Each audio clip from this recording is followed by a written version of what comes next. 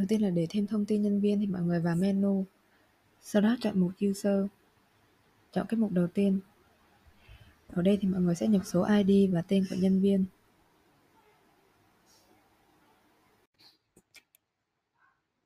Sau khi nhập xong thì mọi người bấm vào OK. Giờ bấm vào Enroll. Ở đây thì một người dùng có thể thêm được khuôn mặt, vân tay, mật mã và lòng bàn tay. Để thêm khuôn mặt thì mọi người bấm vào Face, đưa khuôn mặt vào trước màn hình cách khoảng 20 đến 30 cm để à, máy nhận diện. Để thêm vân tay thì bấm vào vân tay, sau đó đặt vào nhấc ngón tay và cảm biến 10 lần theo chỉ dẫn của máy.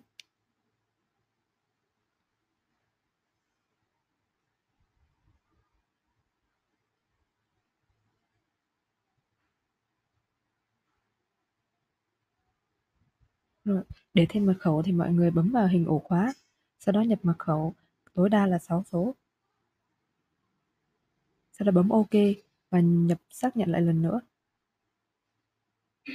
Bấm OK. Như vậy đã thêm thành công. Để thêm lòng bàn tay thì bấm vào hình lòng bàn tay, sau đó đưa lòng bàn tay vào trước à, màn hình cách khoảng 15 đến 20 cm và xòe rộng bàn tay ra để cho máy nó dễ nhận diện. Đến khi cái hàng màu xanh ở trên máy được tích đầy là được. Như vậy là thêm thành công. Để mà chỉnh sửa thông tin nhân viên ấy, thì mọi người à, bấm chọn vào cái mục User List. Ở trong này nó sẽ hiển thị các cái danh sách nhân viên thì mọi người tích chọn vào cái nhân viên muốn chỉnh sửa thông tin. Ở đây thì ngoài số ID ra thì thông tin nào cũng có thể chỉnh sửa. Ví như máy không có tính năng thẻ từ thì mọi người bỏ qua.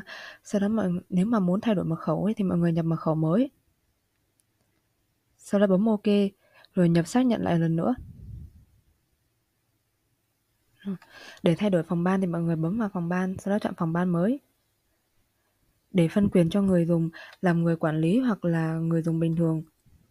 Ví dụ người quản lý thì mọi người chọn vào admin, còn người bình thường thì mọi người chọn user. Để thay đổi khuôn mặt thì mọi người bấm vào face, sau đó đưa khuôn mặt mới vào. Rồi tương tự để thay đổi vân tay thì mọi người bấm vào vân tay. Rồi, đặt và nhấc ngón tay khỏi cảm biến 10 lần. Rồi để xóa nhân viên ấy thì mọi người bấm vào delete. Nếu mà không còn cài đặt gì nữa thì mọi người bấm thoát ra.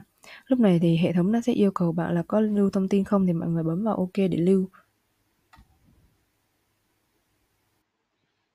Để mà thêm phòng ban ấy thì mọi người bấm vào phòng ban, sau đó nhập tên phòng ban vào. Ví dụ ở đây mình nhập là phòng ban nhân sự. Ghi không dấu.